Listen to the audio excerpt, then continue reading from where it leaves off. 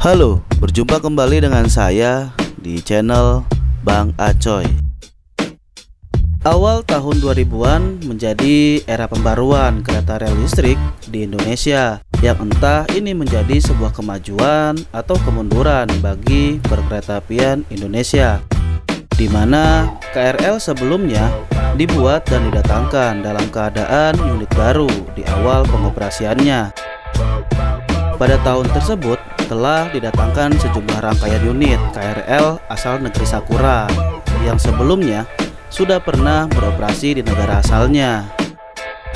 KRL tersebut dihibahkan kepada Indonesia untuk dioperasikan kembali khususnya di lintas Jabodetabek dalam rangka bentuk kerjasama antar dua negara yaitu Indonesia dan negara Jepang.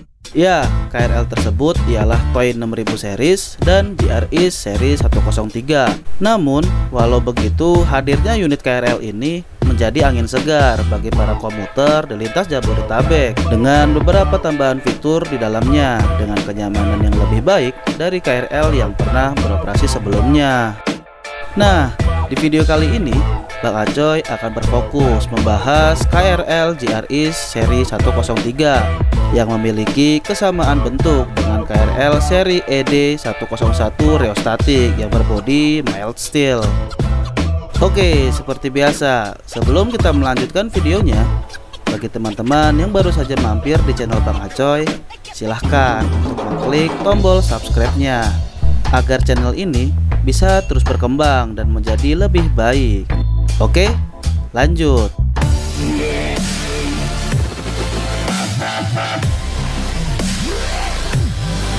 Kereta rel listrik GRI seri 103 adalah KRL buatan Jepang pada tahun 1964 yang diproduksi oleh Nippon Sanyo, Kawasaki Heavy Industries, dan Hitachi Ltd. KRL ini sebelumnya pernah beroperasi hampir di seluruh lintas komuter di Jepang dan menjadi KRL dengan populasi terbanyak dan masih memegang rekornya sampai saat ini bersamaan dengan kakaknya yaitu KRL GRI seri 101. GRI 103 ini memiliki sistem teknologi rheostat serta bodi yang sama dengan KRL seri ED101 ekonomi non AC yang dikenal dengan KRL rheostatik dengan bodi mild steelnya. KRL ini datang pada tahun 2004 ke Indonesia sebanyak 16 set dengan formasi 4 gerbong per setnya dengan menggabungkan dua set kereta yang menjadi 8 gerbong dalam satu rangkaiannya. Walaupun di negara asalnya KRL ini memiliki formasi 2, 4, 6, 8, dan 10 gerbong per setnya. KRL dengan AC terdingin di Jabodetabek ini memiliki empat pintu penumpang otomatis di setiap sisi gerbongnya dan mampu berlari dengan kecepatan maksimum 100 km per jam. KRL ini bersistem teknologi rheostat dikarenakan belum tersedianya teknologi chopper maupun sistem teknologi variable voltage variable frekuensi dengan transistor gate turn off atau yang disingkat dengan triple VF GTO maupun insulated gate bipolar transistor atau yang disingkat juga dengan triple VF IGBT. GR103 ini mulanya digunakan untuk layanan Bojonggede Express dan Depok Express. Namun, dampak bertambahnya penumpang KRL ini pun ditukar dengan unit Tokyo 8000 series yang memiliki 8 gerbong per setnya dan KRL ini pun dipindahkan pada rute Tangerang yang jumlahnya saat itu belum terlalu banyak penumpangnya. Pada masa kedinasannya, KRL JRIS seri 103 ini datang menggunakan livery JRIS Musa Sino Line yang merupakan livery bawaan langsung dari Jepang dengan dipasangkannya cow catcher pada bodi KRL sebelum mengawali masa dinasnya di lintas Jabodetabek. Pada tahun 2007, KRL ini pun dicat dengan warna kuning oranye. Dan pada tahun 2009, KRL ini dicat warna biru tua dan biru muda di sepanjang sisi rangkaiannya. Sebagai KRL pertama yang menjalani pemeliharaan akhir lengkap atau yang disingkat dengan PAL di depo KRL Depok.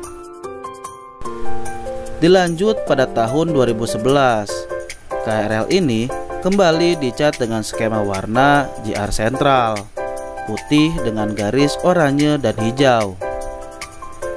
Dan mulai saat itu, KRL JR103 sudah tidak sedingin dulu lagi saat pertama datang. Dan bahkan sering kali panas yang disebabkan usia KRL ini yang semakin tua serta sulitnya suku cadang. Sejak 2014, rangkaian ini kembali dicat dengan menggunakan livery KCJ namun dengan logo PT KAI yang ternyata merupakan livery terakhirnya selama berdinas di Indonesia. KRL ini sering mengalami perubahan pada masa akhir dinasnya dan menjadi KRL feeder yang menghubungkan stasiun Manggarai dengan stasiun Duri dan stasiun Jakarta Kota dengan stasiun Kampung Bandan. Memiliki nasib yang sama dengan KRL Toy 6000 series. CR103 seiring waktu keberadaannya pun harus tergeser dengan kedatangan KRL GRI seri 205 yang didatangkan secara besar-besaran pada tahun 2013.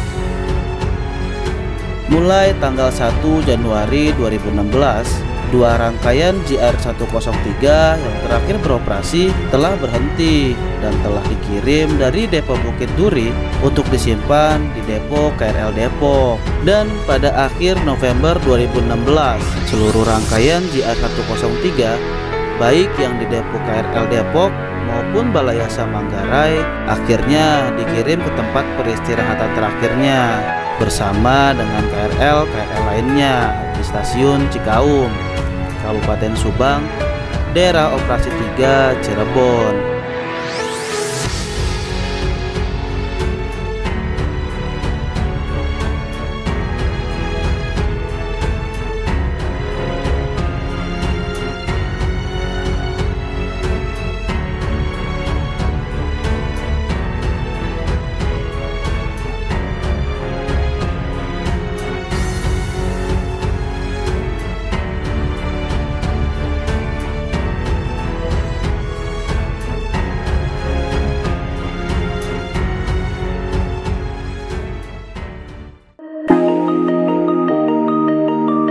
Sepertinya berakhir sudah pembahasan video Bang Acoy kali ini tentang KRL GRI seri 103. Baiklah, kalau begitu sampai jumpa di video-video Bang Acoy berikutnya.